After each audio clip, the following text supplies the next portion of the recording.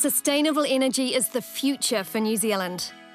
Our country's shape and location provides a natural advantage to harness the renewable power of wind.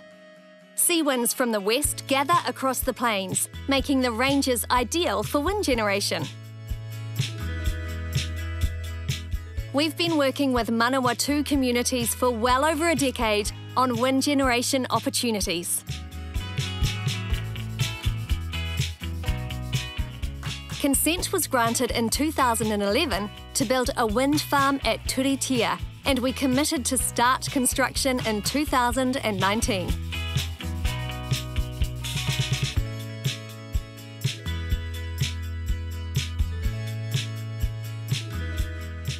The 60 turbines at Turitea will produce around 840 gigawatt hours every year, enough to power 375,000 electric cars. When it's built, it will be New Zealand's largest wind farm so far. The transmission line to support Turitea and other developments in the area is being built now too. We also have consents for a future transmission line that connects Turitea with Puketoi.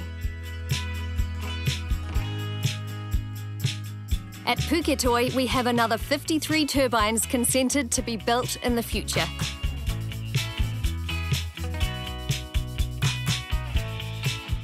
These wind farms could together generate around 1,700 gigawatt hours annually. That's about 80% of Wellington's electricity demand.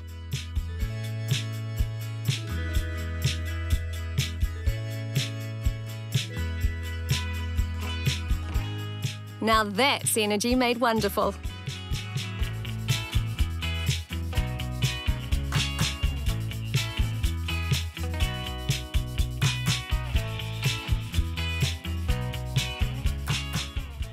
Mercury, energy made wonderful.